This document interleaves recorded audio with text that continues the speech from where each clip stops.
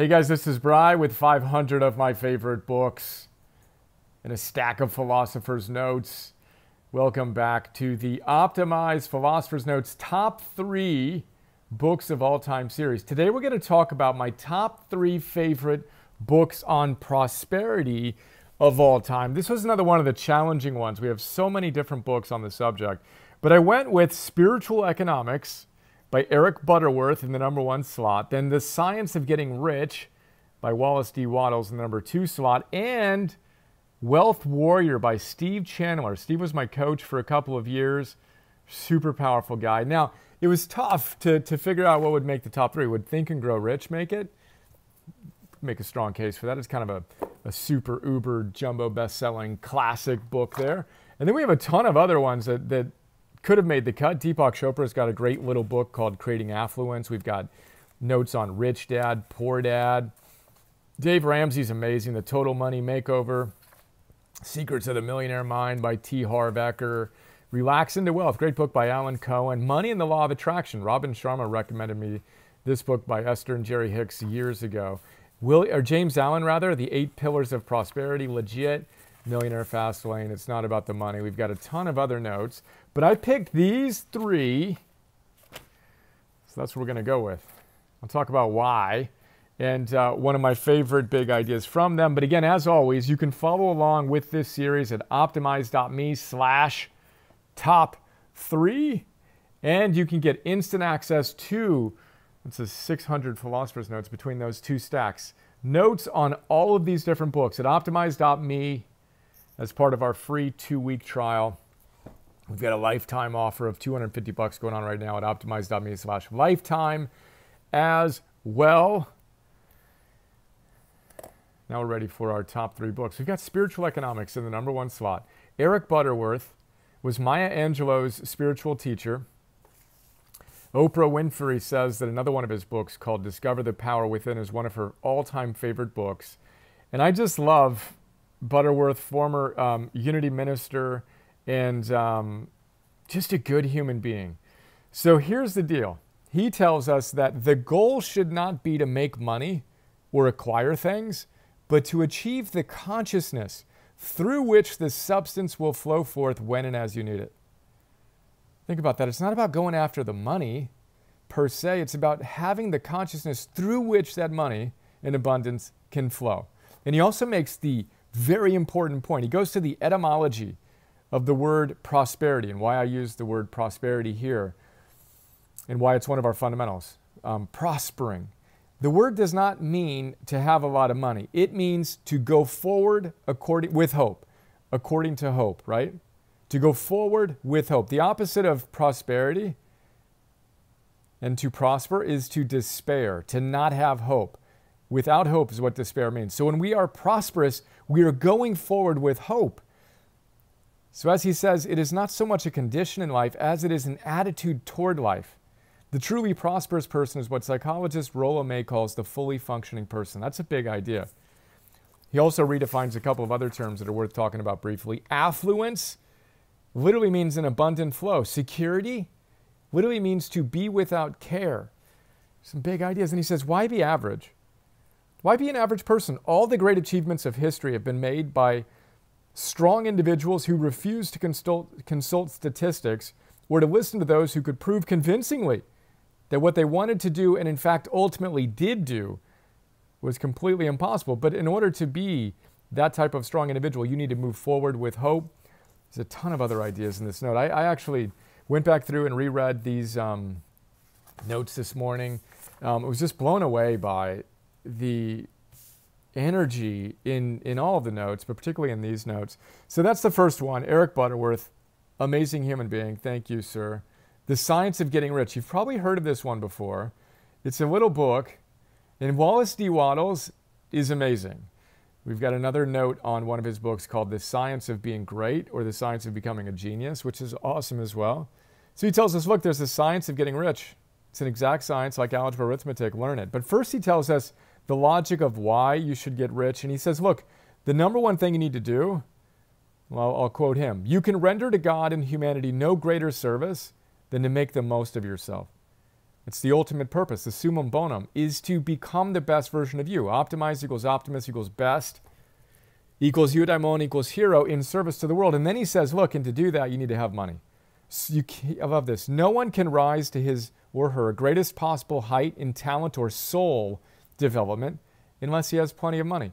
For to unfold the soul and to develop talent, he must have many things to use, and he cannot have these things unless he has money to buy them with. And then I talk about the fact that even Gandhi, who didn't have any money, and Mother Teresa, they didn't personally have money, but a lot of money flowed through their organization. So we need to have a healthy relationship to money, which again is why I love spiritual economics, helped me integrate my spirituality and my finances. And then Wattles um, comes through on the same plane. Now, my favorite thing from this book is that he says you are to become a creator, not a competitor. You're going to get what you want, but in such a way that when you get it, every other man or woman will have more than he or she has now. You want to be a creator, not a competitor. In this book, again, this note is packed with great um, wisdom. This is super important. We've got to have gratitude for what we have right now to connect to the infinite power. Then he says, we must pass from the competitive to the creative mind.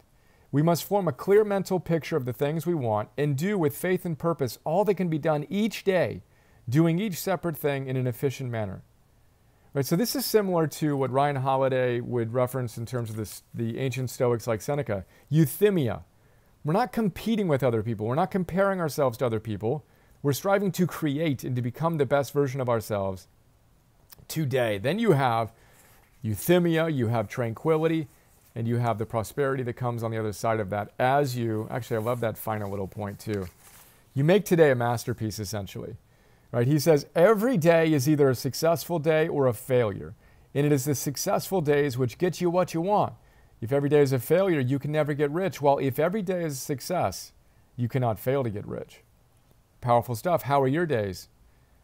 And then he tells us, act now. There is never any time but now, and there will never be any time but now. If you are ever to begin to make ready for the reception of what you want, you must begin now. And then finally, he says, more than fill your current position. Mental um, toughness, peak performance, sports guys say, outperform your contract. Are you? Which actually perfectly leads us to Steve Chandler. So, again, Steve and I worked together for a couple of years. And um, I just love, and I picked this book as number three because his whole thing, Steve's whole thing, is to create wealth via profound service. I wrote that down over here. Wealth via profound service. And he introduced me to the idea of astonish, which basically means to thunder. I like to say to strike with lightning. Boom. He says most people are just trying to, to get by, just do enough. No, no, no, no, no, no. We need to create abundance in our lives, prosperity in our lives, wealth in our lives via profound service by outperforming our contracts, being the absolute best version of ourselves and again, he says what we, what we talk about in every note. You have to have access to your higher self. Higher self? Yeah, the real you, you at your best. You when you surprise yourself. Don't you surprise yourself once in a while? That's the you I'm talking about. That's the real you. The rest is fears and bad memories. He says, You want to make more money? Serve more. To understand why you're not making money you want to make, I first want to see where you are not serving. That will give us our turnaround strategy. Businesses fail because they don't serve individuals too. And he plays around with the idea of um, being out of service. This is great too. Don't worry when your coach asks you to convert and change your dream into an immediate project. Take your dream, what can you do right now? There's another one projects, turning pro, making each day your masterpiece. Again, we're reflecting on the same themes again and again and again and again. Then ultimately tells us reminder to myself money is a reflection of bold and creative service. So, again, my question to you is Are you serving boldly and profoundly? That's what's going to get the job done. Top three spiritual economics, Science of Getting Rich, which wants to keep on falling down, Wallace D. Wattles, and Wealth Warrior by Steve Chandler. But Think and Grow Rich, if you haven't read the note on this at least, check it out. It really should be called Hustle and Grow Rich. Yeah, you know, it's all about thinking on, on the first level, but Napoleon Hill tells us that it's all about persistence at the end of the day. He says, Riches begin with a state of mind, with definiteness of purpose, with little or no hard work, but then You put in the hustle, you put in the hard work, and you just do it. There's a lot of goodness in this one, too. Um, again, James Allen is amazing. Um, As a Man Thinketh is, is a fantastic book worth, worth checking out. Secrets of the Millionaire Mind is fun as well. Um, playing to win versus playing to lose. That's actually a scientific principle that we talk about in different contexts. Total Money Makeover, Dave Ramsey, super important. Live below your means. Step number one, right? And then increase your means while figuring out the game you're playing and playing it well. We're going to do some notes on the fire movement as well soon. Um, and then, like I said, Deepak's got a nice, fun book. Um, he's got a fun metaphor of the two goddesses of wealth. Go for the goddess of knowledge, and the goddess of wealth will follow. In other words, be the best version of yourself, like we discussed in the very first idea here, and then the money will follow, wherever that went. The goal should not be to make money or acquire things, but to achieve the consciousness through which the substance will flow forth when and as you need it. Now, in addition to all of the notes, what I do is basically take all these books, boil it down into the stack of notes, and then I actually create Optimal Living 101 master classes. The one for this theme on prosperity I called Abundance 101 How to Create True Wealth in Your Life by Investing Wisely in You Inc. and the best way to become a billionaire. We play with that psychologically. Now, we have a workbook for each of the um, 101 classes. We have 50 of these classes that, again, you can get instant access to at optimize.me as part of that free um, trial, where we basically distill the 10 best ideas from those philosopher's notes into a 101 class to help you move from theory to practice to mastery. And then in our optimized coach program, we go to the next level, kind of like graduate school training um, on these ideas. That's all I got. Those are my three favorite books of all time Prosperity Wise and Why, with an idea or three thrown in. Spiritual Economics, Eric Butterworth, The Science of Getting Rich, Wallace D. Wattles, Wealth Warrior, Steve Chandler, bonus. Think and Grow Rich, and a bunch of other ones. Hope you enjoyed. Again, check out all the top threes at optimize.me slash top three. Get access to all of the philosopher's notes on these books and all of those Optimal Living 101 master classes at optimize.me. And if you want to go all in, join us. Optimize.me slash coach. That's all I got for today. Make today another awesome day. See you.